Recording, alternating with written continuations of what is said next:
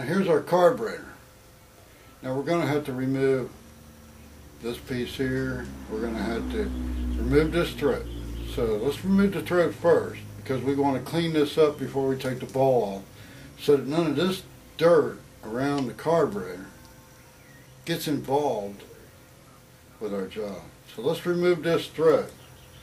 And that's going to take uh, 7 16ths on one side and I do believe, oh, it's 10 millimeter. But let's get that thread off of there and then start scraping this off and cleaning it before we get it in our cleaner. Because once it hits the cleaner, that dirt's going to get in there and ruin your cleaner.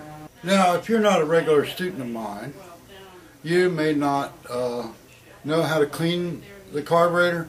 Go back to one of my videos about cleaning the 12, 12 and a half horsepower carburetor and they will demonstrate to you why and how to do that.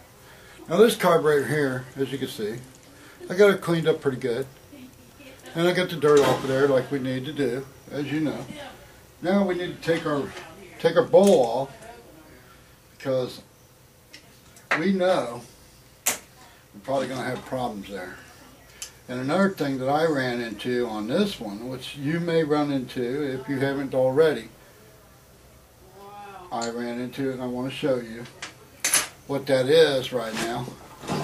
Now, as you can see, at least I think you can see that the my gasket kind of tore apart on on this when I took the throat off.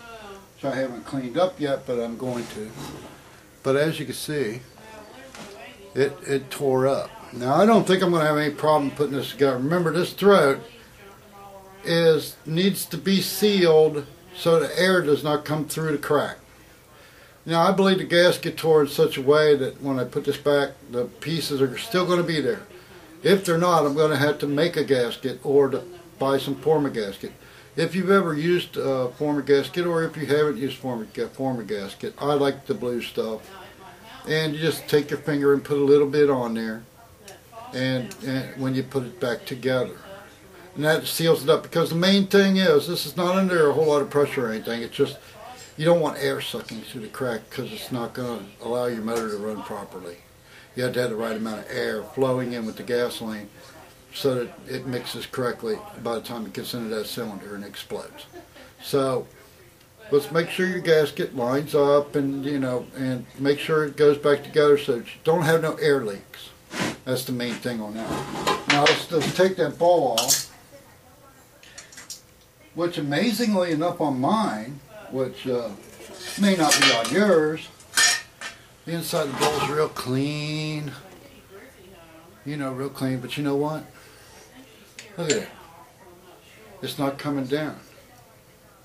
Yeah, now it is. But because it had been sitting like this for so long, it had stuck that way.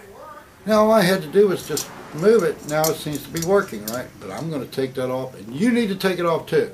And you know how to do that. You've seen the video. So let's take that apart and let's clean that all up and let's put this all back together. And you know how to do it. If you don't, you need to go back and watch the videos on how to do this. This carburetor is, from what I see so far, is identical, same cleaning as with the Briggs & Stratton.